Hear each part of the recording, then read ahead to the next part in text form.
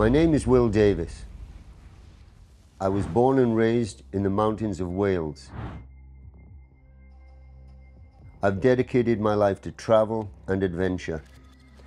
Eight years ago, I decided to travel to the Philippines. The Philippines is made up of over 7,000 islands. It is located just north of the equator between the South China Sea and Pacific Ocean.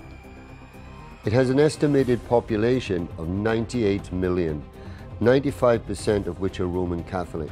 Filipinos are extremely religious and also superstitious, with a huge number of them believing in what is called Aswang.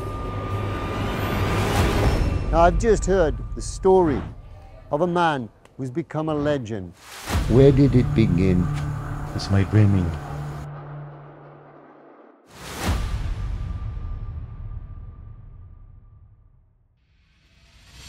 He blasphemed God because he claimed to be the Son of God.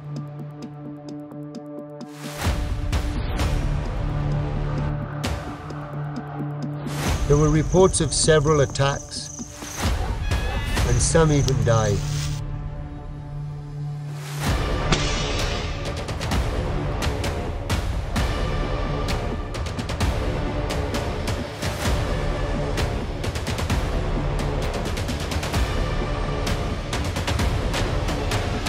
I'm really an one.